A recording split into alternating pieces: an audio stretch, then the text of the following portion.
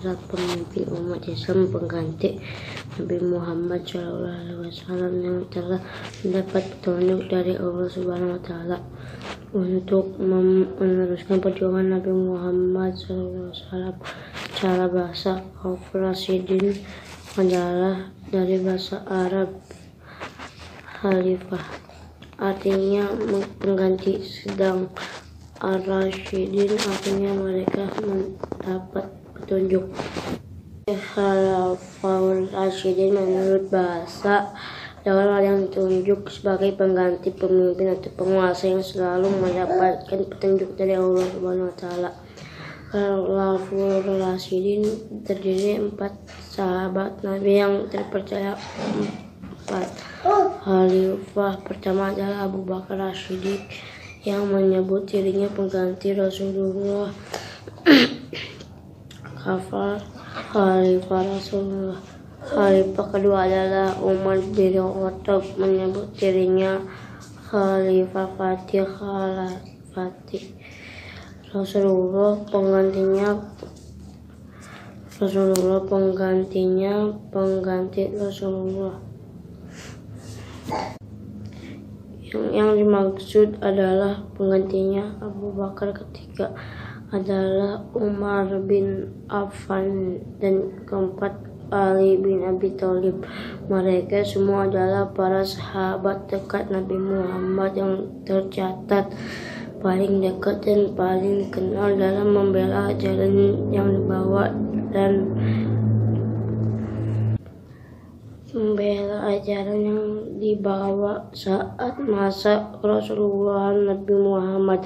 Keempat khalifah tersebut dipilih bukan berdasarkan keturunannya, melainkan berdasarkan konsensusnya, konsensusnya bersama umat Islam.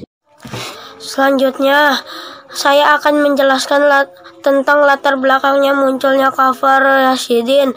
Rasulullah SAW wafat hari Senin 12 Rabiul Awal 11 Hijriah atau tanggal 8 Juni 630 Masehi. Saat itu beliau 63 tahun. Selama 13 hari beliau sakit yaitu tanggal 29 Hijriah. Pada hari itu itu Rasulullah SAW menghadiri prosesi pemakaman. Salah satu sahabat di pemakaman Baki pemakaman Baki Rasulullah SAW jatuh suhu tubuhnya panas melebihi ukuran manusia normal. Kondisi kesehatan Rasulullah semakin lemah. Empat hari menjelang wafatnya beliau tidak mampu lagi untuk menjadi imam sholat lima waktu sehingga Abu Bakar As-Siddiq ditunjuk untuk menggantikan perselisihan kaum muhajirin dan ansar muncul sesaat di setelah Rasulullah SAW wafat di situasi di kalang kaum muslimin. Sempat kacau hal itu disebabkan Rasulullah SAW tidak menunjuk calon pengganti pemimpin umat Islam secara kaum muhajirin ansor adalah dua kelompok merasa paling berhak menggantikan kepemimpinan umat Islam. Pada wafatnya Rasulullah Shallallahu Alaihi Wasallam kaum muhajirin menakjubkan Abu Bakar Asidik sebagai kandidat pemimpin umat Islam pada wafatnya Rasulullah Wasallam dengan berbagai argumentasi kaum muhajirin adalah pengikut pertama dan berjuang sejak awal dengan Rasulullah Wasallam Sementara Abu Bakar As-Siddiq adalah orang ditunjuk menggantikan imam sholat lima waktu selama Rasulullah sakit. Di pihak law, di pihak lawan eh di pihak lain kaum Ansor merasa paling berhak karena Islam dapat dapat berkembang dan mengalami masa kejayaan Rasul setelah Rasul Rasulullah hijrah ke Madinah mencalonkan Sa'ad bin Ubadah sebagai kandidat pemimpin umat Islam perselisihan tersebut dapat diselesaikan secara damai oleh Umar bin Khattab setelah ia menggembungkan sebagai argumentasi se selanjutnya ia membait Abu Bakar As-Siddiq di, dan diikuti oleh Sin Ubadah. Langkah pertama dilakukan oleh Khalifah Abu Bakar As-Siddiq adalah memimpin prosesi pemakaman Rasulullah Shallallahu Alaihi Wasallam pada malam Rabu di tempat mana beliau yaitu kamar Aisyah. Assalamualaikum warahmatullahi wabarakatuh. Nama saya Ira Ramadhani Putri Nadir dari kelas 7K dari kelompok 1. Allahumma sholli ala Sayyidina Muhammad wa salim alaihi wa ala alih. Biografi Khulafaur Rasyidin Khulafaur Rasyidin merupakan tokoh yang istimewa.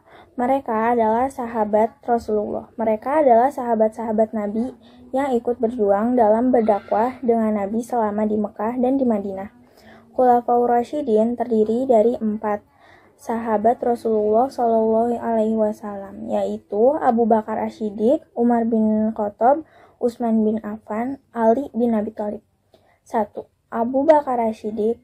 Nama Abu Bakar Rashidik sebenarnya adalah Abdullah bin Utsman bin Amr bin Ka'ab bin Sa'ad bin Taim bin Murrah bin Ka'ab bin Lu'ay bin Walid bin Fir. Ya, Al-Quraisy Al-Taimi bertemu nasab dengan Rasulullah Shallallahu Alaihi Wasallam pada kakeknya. Murrah bin Ka'ab bin Lu'ay, ibunya Umar, ibunya Ummu Khair. Salma binti Sakhr bin Amir bin Ka'ab bin Sa'ad bin Taim. Berarti ayah dan ibunya berasal dari kabilah Bani Taim. Ayahnya diberi julukan Abu Kuhafa dan pada masa jahiliyah. Abu Bakar Rashidik memiliki panggilan Atik. Abu Kuhaifah mempunyai tiga orang putra yang pertama Atik Abu Bakar Ashidik Mutak, dan Utai. Saya kelas 7K, absen 4. Saya kelompok 1 SKI atau uh, Sejarah Kebudayaan Islam. Nah, saya akan menjelaskan proses pengangkatan Khalifah Abu Bakar Ashidik. Abu Bakar Ashidik menjadi khalifah kurang lebih selama 2 tahun. Ia diangkat sebagai khalifah melalui proses kompetisi yang sangat ketat antara dirinya dengan saat di Ubadah. Dinamika politik saat itu memuncak. Persaingan antar dua kadindat sangat tajam, sehingga perselisihan antara dua pihak, muhajirin dan ansor. Nyaris terjadi perpecahan di antara kaum muslimin. Peristiwa ini dapat diatasi oleh Umar bin Khattab dengan berbagai argumentasi yang dapat diterima oleh kedua belah pihak. Prestasi Khalifah Abu Bakar Ashidik Khalifah Abu Bakar Ashidik memimpin umat Islam selama dua tahun. Walaupun waktu yang singkat sebagai pengganti Nabi dalam kepemimpinan agama dan pemerintahan, Khalifah Abu Bakar melakukan beberapa kebijakan dalam rangka mengembangkan Islam. Beberapa tindakan Khalifah Abu Bakar yang memberikan kontribusi terhadap umat Islam, antara lain, 1. Memerangi kelompok pembangkang. Abu Bakar terpilih menjadi khalifah secara demokratis. Hal ini tidak menjamin situasi umat Islam akan stabil. Setelah Nabi wafat, krisis kepemimpinan menimbulkan gejolak perpecahan umat. Sebagian umat Islam mulai menentang kebijakan Nabi Muhammad SAW. Mereka menciptakan ketidakstabilan umat Islam. Khalifah Abu Bakar menetapkan kebijakan yang tegas terhadap para pembangkang. Ada sekelompok orang di Manidah menyatakan keluar dari Islam mereka kembali memeluk agama dan tradisi lama, yakni menyembah berhala. Suku-suku tersebut menyatakan bahwa mereka hanya memiliki perjanjian dengan Nabi Muhammad Wasallam. Beberapa pemberontak antara lain: 1.